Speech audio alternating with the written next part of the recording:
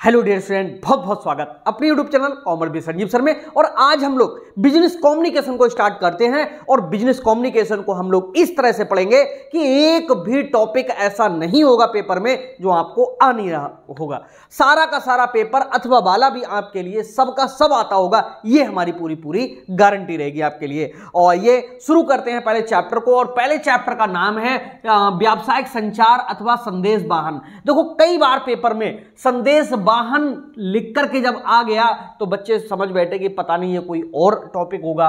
लेकिन जो समझदार बच्चे थे, उन्होंने अंग्रेज़ी में जब देखा तो सिर्फ़ एक ही शब्द था इसका, और वो था कम्युनिकेशन कम्युनिकेशन का मतलब ही होता है, जिसको हिंदी में हम लोग संप्रेषण भी कह सकते हैं, संचार भी कह सकते हैं, और संदेश वाहन भी कह सकते हैं। ये कई नामों से प्रश्न आता है।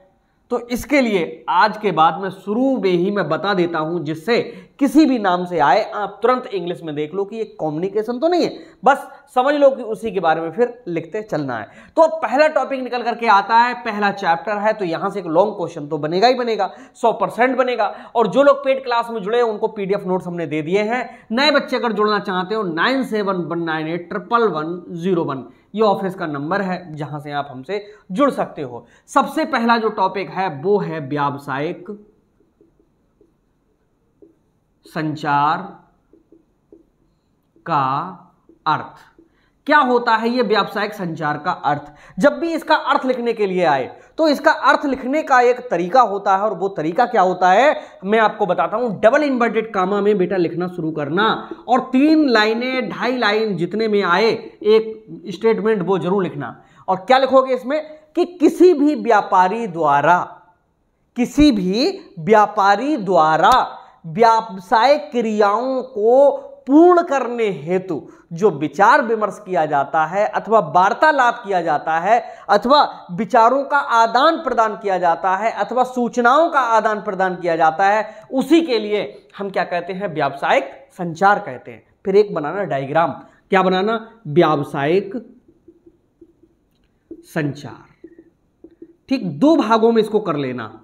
कौन कौन से? नंबर एक, व्यावसायिक और नंबर दो पे संचार। यानी पूरा जो पहला चैप्टर है व्यावसायिक संचार, वो बस यही दो चीज़ें तो हैं इसमें कि व्यावसायिक संचार क्या है। सबसे पहले हम बात करते हैं व्यावसायिक के। क्या होता है व्यावसायिक? व्यावसायिक का सीधा सीधा मतलब बिज़नेस से लोग लगाते हैं, व्यापार से लगाते हैं, पैसे से लगाते हैं। अरे, लगाते नहीं, असलियत में होता भी है। ठीक है? व्यवसाय का सीधा सा मतलब है कि जब आप कहीं से भी आ, कुछ धन अर्न करने के लिए कोई भी क्रियाकलाप करते हैं तो वो क्रियाकलाप आपका क्या कहलाएगा? व्यावसायिक क्रिया कहलाएगी। और व्यावसायिक क्रियाएँ हमेशा जो होती हैं वो आर्थिक क्रियाएँ होती हैं। आर्थिक क्रियाएँ का मतलब होता है आर्थिक क्रियाएँ।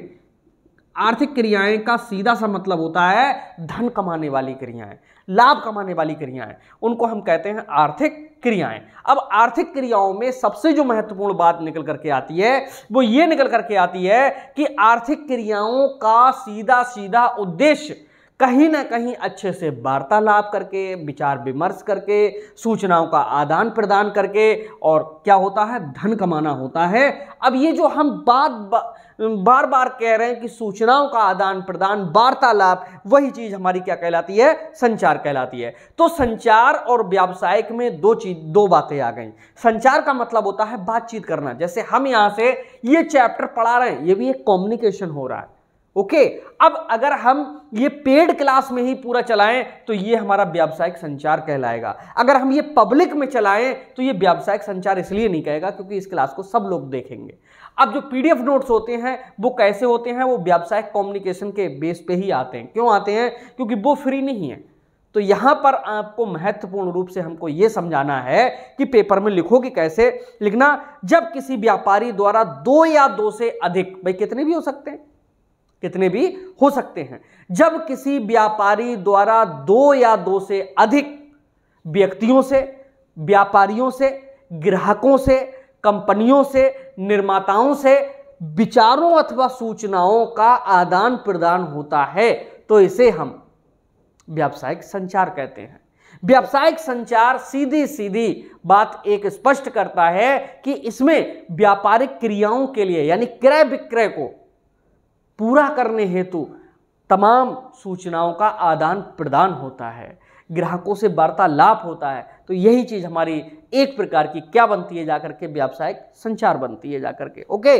और संचार को अंग्रेज़ी में हम कम्युनिकेशन कहते हैं। और कम्युनिकेशन जो शब्द है वो कम्युनिकेट से बना है। और कम्युनिकेट जो शब्द है वो सीधे कहता है कि सूचनाओं को लेने और देने से। तो इस प्रकार से बे सारी सूचनाएँ जो किसी न किसी व्यापारिक उद्देश्य से की जाती हैं उनको हम कौन से आ, संचार कहते हैं? व्यावसायिक संचार कहते हैं। अब इसमें आप आ, एक हेडिंग ज़रूर याद करके जाना क्योंकि ये पेपर में मिलता ज़रूर है। और जैसे हमारी बॉडी में ये भी लिख देना इसके अर्थ में जैसे हमारी बॉडी में वर्क करने के लिए ब्लड है, वो सबसे महत्वपूर्ण भूमिका रखता है। ठीक उसी प्रकार से जो व्यवसाय होता है, उसमें अच्छे से क्रियाकलाप करने के लिए जो कम्युनिकेशन है, वो अपना महत्वपूर्ण स्थान रखता है। उदाहरण के लिए, एक कोई ग्राहक किसी भी व्यापारी के यहाँ आता है और वो माल परचेज नहीं करता है, काफ़ी देर तक उलट पलट उलट पलट करता है, लेकिन फिर भी व्यापारी का जो व्यवहार है, उसके प्रति अच्छा रहता है।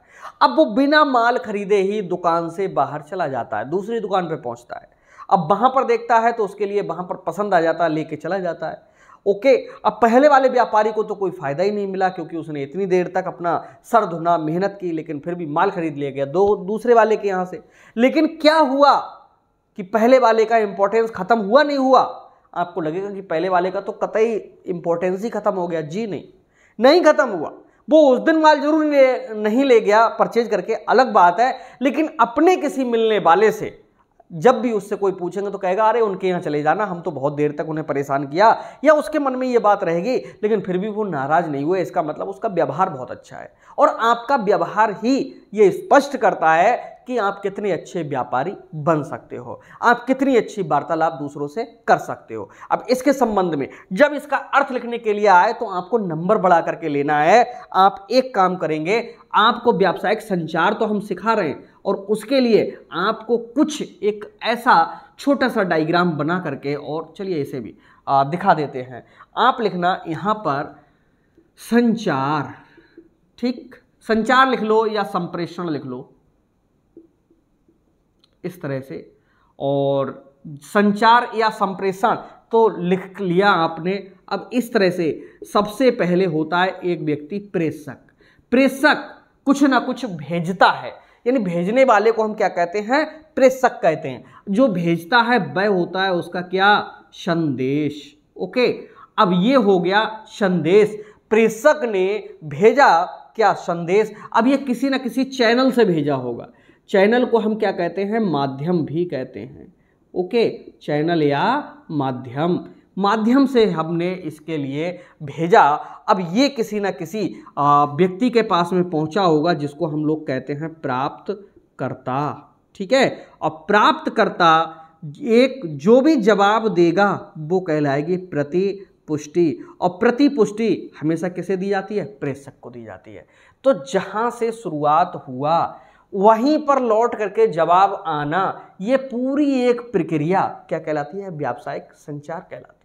तो व्यावसायिक संचार कुछ और नहीं है, बल्कि लाभ कमाने के उद्देश्य से विचारों का आदान प्रदान या नवीन सूचनाएँ देना, ग्राहकों से बातचीत करना, ये सब व्यावसायिक संचार कहलाता है। तो व्यावसायिक संचार में आपने देखा कि एक होता है प्रेषक, दूसरा जो प्रेषक करता है, यानी कोई ना कोई संदेश देता है, किसी न किसी माध्यम या चैनल के माध्यम से देता है। जैसे ये क्लास हम आपके पास तक पहुँचा रहे हैं यूट्यूब चैनल के माध्यम से पहुँचा पा रहे हैं। आप कौन हो, इसके प्राप्त करता हो, उधर से जो भी आप कमेंट्स करते हो, वो आपकी क्या कहलाती है? प्रतिपुष्टि कहलाती है। आप कमेंट्स करते हो, हमको लाइक करते हो, हमारा चैनल सब्सक्राइब करते हो तो ये हमारी क्या होगी? प्रतिपुष्टि होगी फीडबैक होगी। तो फीडबैक क्या होता है? हम आपसे जो कुछ भी कहें, जो कुछ भी पूछें, उसके बदले में आपके द्वारा जो दिया गया जवाब होता है, वही चीज़ हमारी क्या कहलाती है? प्रतिपुष्टि कहलाती है। बहुत इंपॉर्टेंट है वेरी वेरी इंपॉर्टेंट जैसे आपके टीचर ने आपको कुछ पढ़ाया, कुछ समझाया, और समझाने के बाद में उसने आपके पास तक सारा ज्ञान भेज दिया। अब उस ज्ञान में से आपसे अगर कुछ पूछता है तो जो आप वापस देते हो बस वही आपका क्या कहलाता है? फीडबैक कहलाता है। तो फीडबैक का सीधा सा मतलब जो होता है, वो किसमें होता है? प्रेषक के लिए होता है। किसके द्वारा?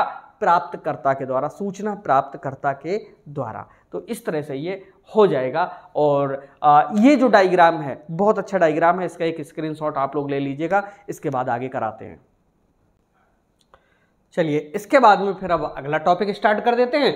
वो टॉपिक जो इसकी विशेषताएँ हैं बहुत ज़्यादा पूछी जाती हैं। ओके? और ये जो क्लास है, उत्तर प्रदेश की सभी यूनिवर्सिटियों में जो लोग स्टडी कर रहे हैं, उनके लिए बहुत ही ज़्यादा हेल्पफुल है। हमारे यहाँ पर बी कॉम फ़र्स्ट सेमेस्टर, जो चाहे कोई भी यूनिवर्सिटी हो मासा कुमरी यूनिवर्सिटी हो C C S U Meerut हो एम जे पी आर हो, काशी विद्यापीठ हो, सिद्धार्थ यूनिवर्सिटी हो, जो कपिल वस्तु में है, हैं, और राजा महेंद्र प्रताप सिंह यूनिवर्सिटी है डी डी यू है, और महाराजा सुहेल देव यूनिवर्सिटी आजमगढ़ में है, पूर्वांचल है, रज्जू भैया है, बुंदेलखंड यूनिवर्सिटी है, इन सब यूनिवर्सिटियों का जो सिलेबस है वो सेम है और हमारे यहाँ बहुत अच्छे तरीके से होता है। बाकी यूपी की कोई और यूनिवर्सिटी बची हुई हो तो वो भी यहाँ पर हो जाती है, ठीक है? तो चलिए, अब अगला हम टॉपिक स्टार्ट करते हैं। वह है व्यावसायिक संचार की चाहे विशेषताएँ लिखने को आ जाएँ, चाहे उद्देश्य लिखने के लिए आ जाएँ, ठीक है?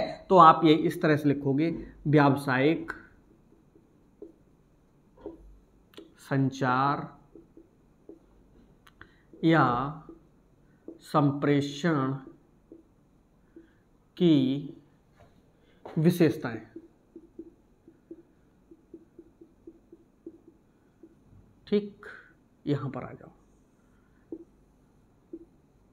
ठीक है? ये आ व्यावसायिक संचार अथवा संप्रेषण की विशेषताएँ अब यहाँ पर हम आपके लिए समझाते हैं, पहली विशेषता या पहला व्यावसायिक संचार या संप्रेषण की विशेषताएँ या उद्देश्य भी लिखने के लिए आ जाएँ, तब भी यही कार्य कर जाएँगे। ठीक है? उद्देश्य यही होते हैं।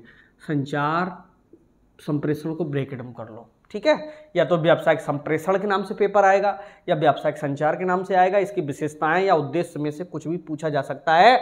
तो मैं आपको इतनी हेडिंग देता हूँ, इतनी हेडिंग कहीं नहीं मिलेंगी। देखो, पहला जो उद्देश्य होता है या विशेषता होती है, नंबर एक, सूचनाओं। का आदान प्रदान पहली जो सूचना होती है, वो यही होती है कि सूचनाओं का आदान प्रदान, यानी सूचना लेना और देना। ठीक? दूसरा, मानवीय संबंध बनाना।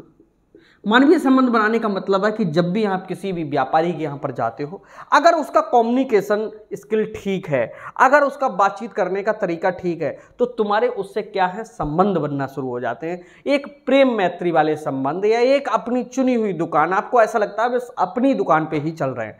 तो ये सब चीज़ें अच्छे व्यवहार, अच्छी बोलचाल से आपके अंदर आती हैं तो इस तरह से मानवीय संबंध भी कम्युनिकेशन के द्वारा बनते हैं। नंबर तीन है, भ्रम की स्थिति दूर करना। ये भ्रम की स्थिति दूर करने का मतलब क्या है यहाँ पर? भ्रम की स्थिति दूर करने का मतलब सीधा सीधा ये है कि कहीं पर भ्रम है, कहीं पर कुछ ऐसा है एकदम क्लियर नहीं है तो उसको कम्युनिकेशन के द्वारा क्लियर कर लिया जाता है। ओके? और चौथे नंबर पे है नवीन सूचनाओं की जानकारी देना। नवीन सूचनाओं की जानकारी देने का मतलब यहाँ पर है कि जब भी व्यापारी के पास में कोई नया प्रोडक्ट आता है कोई नई बात आती है कोई नया कुछ भी आ, होता है तो वो जब अन्य लोगों को देता है तो वही चीज़ हमारी नवीन सूचनाओं की क्या है? जानकारी कहलाता है। यानी व्यावसायिक संचार के माध्यम से ही जो नवीन जानकारियाँ हैं वह अन्य लोगों के लिए दी जाती हैं ठीक है? और अगला पांचवा नंबर है व्यापार। का विस्तार। देखो बिज़नेस का जब विस्तार करना होता है बिज़नेस को फैलाना होता है बिज़नेस के बहुत आ, मतलब बड़े उसमें जाना होता है क्षेत्र में जाना होता है तब भी व्यावसायिक संचार की ज़रूरत पड़ती है। बिज़नेस कम्युनिकेशन के द्वारा ही इन सब चीज़ों को कहीं ना कहीं पर विस्तार पूर्वक आगे बढ़ाया जाता है। अगला है अन्य लोगों तक पहुँच छठा अन्य लोगों तक पहुँच। इसका सीधा सा मतलब यह है कि बिज़नेस में बहुत सारे लोग होते हैं। ओके फिर भी जो व्यापारी होता है, उसको नए नए लोगों की ज़रूरत होती है। तो इस तरह से इस काम में बिज़नेस कम्युनिकेशन समझ लो कि सीधे वार्तालाप। वार्तालाप करने से ही अन्य लोगों के पास तक पहुँच बन पाती है। तो अगला जो ये आ, हमारा टॉपिक है अन्य लोगों तक पहुँच ये देन होती है किसकी? व्यावसायिक संचार की ही देन होती है किसी और की देन नहीं होती है। अगला है सातवां परिवर्तनों।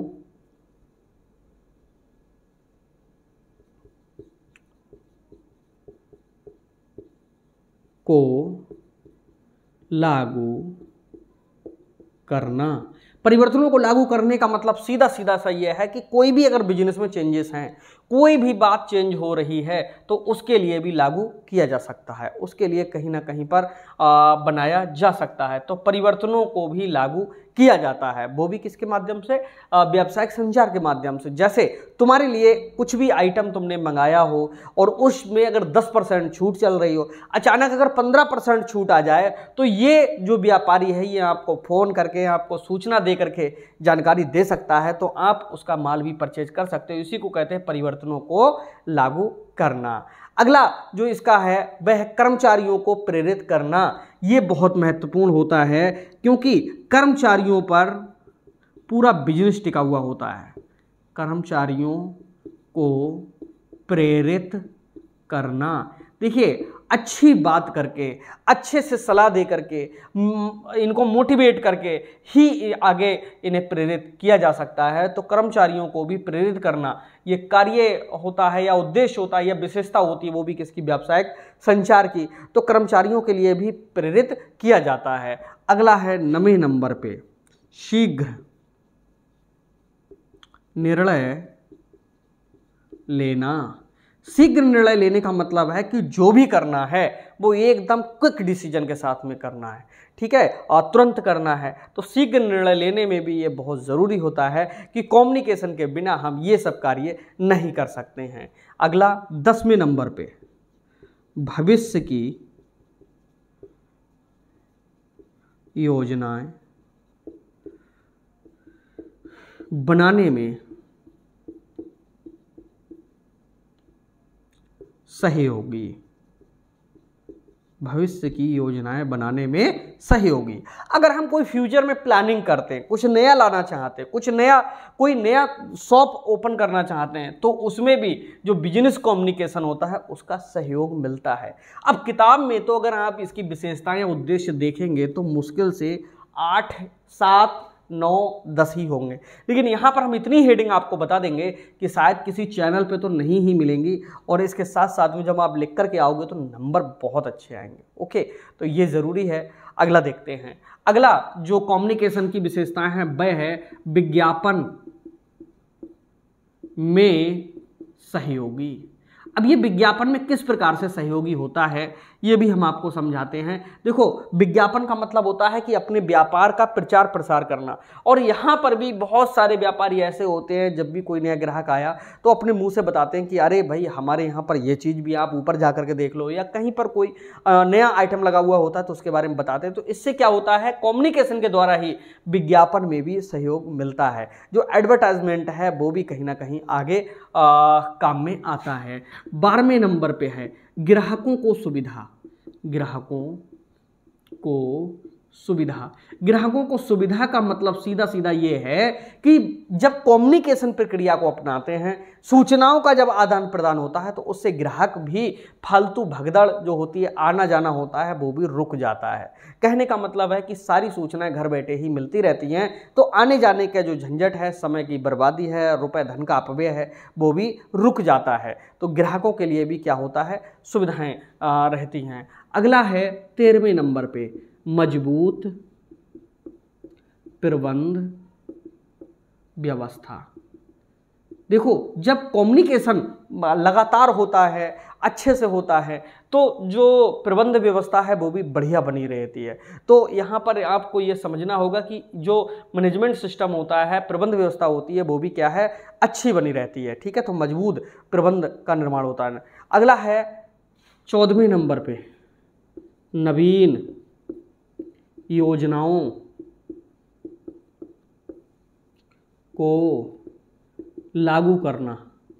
नवीन योजनाओं को लागू करने का मतलब है कि हम कोई नया प्लान लेकर के आ रहे हैं, नई बात लेकर के आ रहे हैं उसके लिए भी जब हम लागू करेंगे तो जितने भी हमारे कम्युनिकेशन के फ़ील्ड में लोग होंगे, उनके लिए नई जानकारियाँ, नई बातें मिल जाएँगी। तो नवीन योजनाओं को भी जब लागू करना होता है तो ये भी यहाँ पर बिज़नेस कम्युनिकेशन का ही सहारा लिया जाता है। अगला पंद्रहवें नंबर पे है, बिक्री बढ़ाने में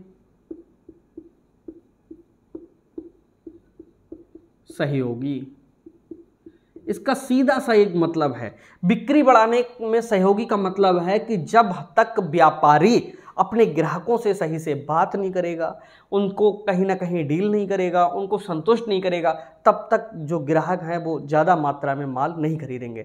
तो ग्राहक उचित मात्रा में माल परचेज करें, इसके लिए कम्युनिकेशन की ज़रूरत होती है। तो ये भी इसकी एक विशेषता है और उद्देश्य है कि उत्पादन की वृद्धि बढ़ाने में ये क्या है? सहायक है। अगला सोलहवें नंबर पे संप्रेषण द्विमार्गी। होना। ओके, संप्रेषण द्विमार्गी होने का मतलब यहाँ पर है कि ये टू वे कम्युनिकेशन है।